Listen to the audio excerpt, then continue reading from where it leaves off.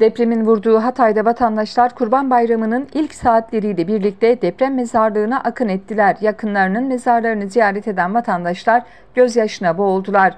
Kahramanmaraş merkezli depremlerde en büyük yıkım Hatay'da meydana gelmişti. Depremde hayatını kaybedenler Antakya ilçesi Narlıca mahallesinde oluşturulan mezarlığa defnedilmişti. Kurban Bayramı'nın ilk gününde namazın ardından Hataylı vatandaşlar mezarlığa akın ettiler. Mezarlıkta dua ederek yakınlarının mezarına çiçek bırakan vatandaşlar gözyaşlarına boğuldular.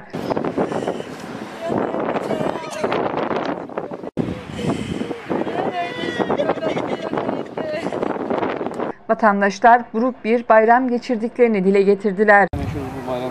Buruk. Şu an neredesiniz? Niye geldiniz? İstanbul'dan geldim. Burası neresi şu an? Burası Narlıca deprem şehitliği. Üzgünüz. Üzgünüz maalesef. Abi buruk bir bayram neler söylemek istersin abi? Kötü. Bayrak buruk geçiyor tabii haliyle. Haliyle buruk geçecek. Çocuklarımız, kızımız, oğlumuz, torunlar hep burada. İşte sağ olsun Allah razı olsun. Devletten de yine mermerimiz, mermerimizi döküyor. Betonlarımızı yapıyor. Sağ olsun. Allah razı olsun kendisine. Nasıl bayram? Üzgün müsünüz? Hüzünlüyüz tabii. Haliyle bayramımız değer, hüzünlü geçecek. Ya, Mezarlıkta şu an yatıyor. Kim- Benim kızımla iki torunum. Başınız sağ olsun. Dinim mazza. Sağ olun.